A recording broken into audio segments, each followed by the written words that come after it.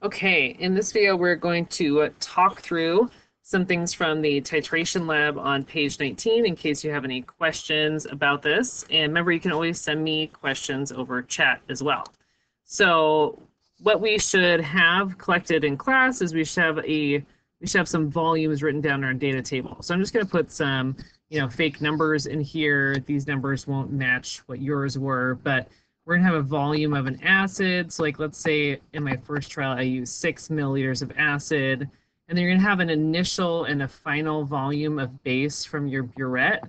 And the way that your burette works is the volume starts um, low, because when your burette is filled up to the top, this is the reading says zero, and then the lowest reading down there is says 50. So both these numbers should be somewhere between zero and 50. Uh, and then we figure out how much base it took. Let's say it took um, 26 milliliters. Again, I'm just making these numbers up just for an example. So the what you first want to do is figure out the average volume of acid used from each of your trials. And this is because you had several trials, you might have different volumes here. So maybe this case is like two and this one is like um, 24.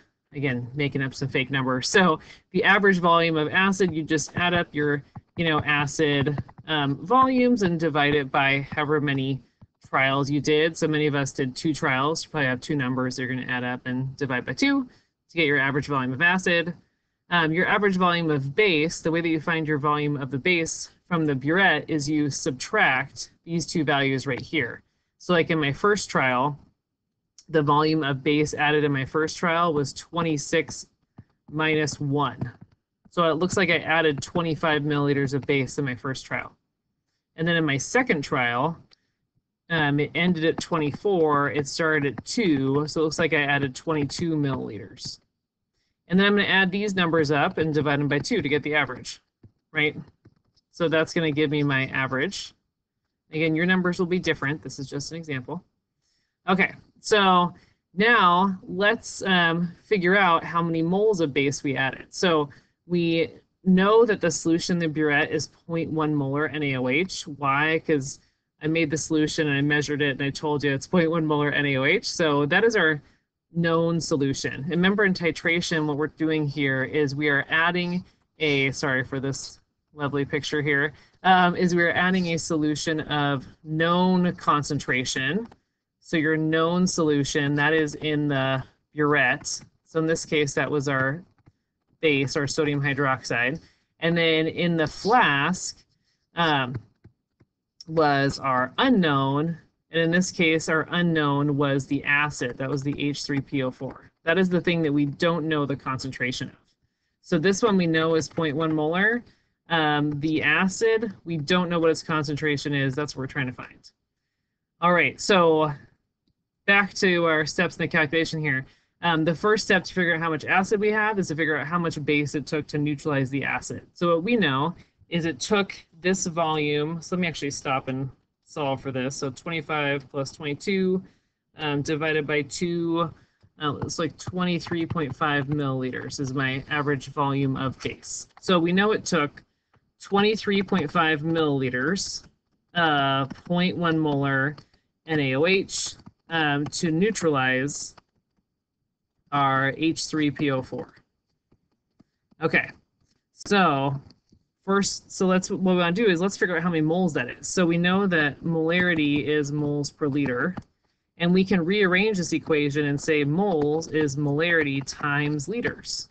So if I'm asked to find moles, what I should do is take my molarity times my liters. So in this case, my molarity is 0.1 molar, and my volume is this volume right here. Make sure I'm using the volume of base. So this is 20, this is 23.5 milliliters of NaOH. Okay. Um, and I'm going to convert that into liters. There we go. And so that's going to give me my uh, volume of, sorry, my moles of base. So it looks like it took 0.00235 moles of NaOH to neutralize my acid. Okay, cool. Well, how does that relate to my acid? Because I found moles of base, how am I going to find moles of acid? Well, earlier on in the pre-lab, we should have written a balanced chemical equation for the neutralization reaction between H3PO4 and sodium hydroxide. So let's scroll down and take a look at this one. So we've got um, H3PO4 and we've got sodium hydroxide. So what they're going to do is we know they're going to form water. So the hydroxide and the hydrogen are combined to form water. And the elements that are left, the sodium and the phosphate, they're going to come together to form an ionic compound. And uh, sodium, if we look up on our periodic table, it's got a charge of plus one. Phosphate, that's one of those polyatomic ions we learned um, in one of our units first semester, and it's got a charge of negative three. That is phosphate. And so in order to uh, um, write this chemical formula, I need the charges to add up to zero. So remember we do this crisscross thing where this number goes down here, this number goes down here. So the formula is going to end up being Na3PO4. And then now I've got to balance it. I need three sodiums and I end up needing a three over here. So this equation ends up being balanced if you stop and count all the atoms on the left and the right. All right, and then how does that help us? Well, remember we're trying to find how much acid was in our flask. That is what the question is. How much acid was in our flask? And we know how much base it took to neutralize the acid. So um, it took 0.00235 moles of base to neutralize the acid. And now we know the ratio in which they react. It looks like for every three NaOHs that react, we um, will react one H3PO4. So that's a one to three, you know, ratio here. So you end up with one, two, three, seven, eight. Um, so that is how many moles of acid that were in the container.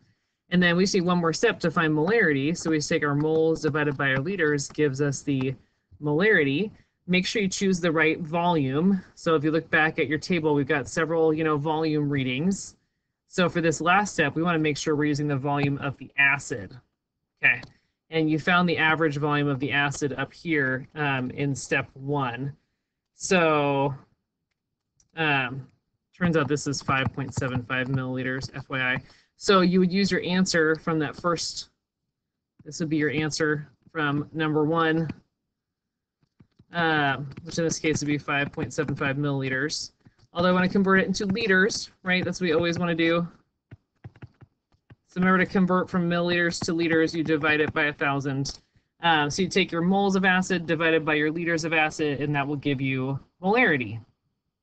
And again, remember, these are fake numbers that I made up, your numbers are going to look different based on whatever your data is. So this is just a model for you to look at. And please send me a message if you have questions.